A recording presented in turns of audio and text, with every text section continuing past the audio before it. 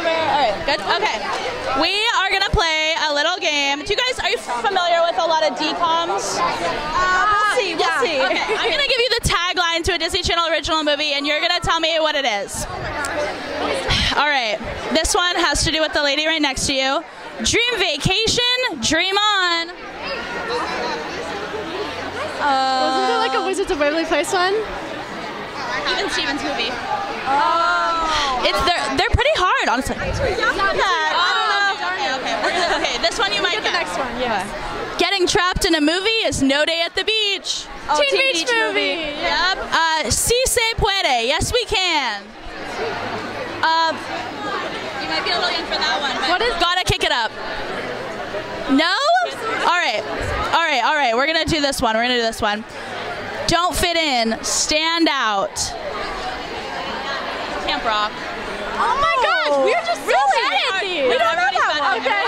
Except for like two people. Uh-huh. Um, okay. So we're gonna play a different game now called 100. What's one thing you've done 100 times? sneeze. I sneeze like when I sneeze, I go achoo, achoo, achoo. Okay. Um, brush my teeth. Okay. Good one. What's one thing you want 100 of? Dogs. Oh, Yes, little puppies. Two puppies. Yes. Where do you want to be when you're 100 years old? I want to still be making TV shows and movies.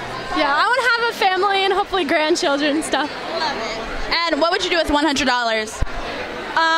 Um, I would. What's a hundred dollars? I would buy a lot of food. Yeah, I was just gonna say that. Buy a lot of Go to food. maybe a fancy restaurant or something and Yeah, just splurge totally. a little bit.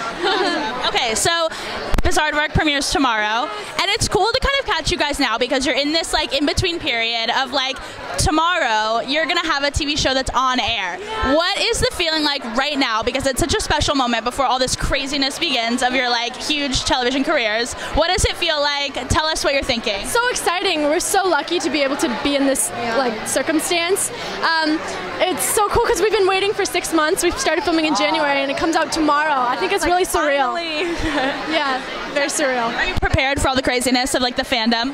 Yeah, I think so. I'm a I don't. Th- I don't tackle really any- think there's a lot of things that we can really like get prepared for. we don't really know what to anything expect. that comes at me. Yeah. Definitely. And at events like these, you get to see all these other Disney Channel alumni. Have you gotten to meet anyone that you're really excited about and connect with any other Disney stars? I have, no, I have um, yet to meet someone. Really? Yes.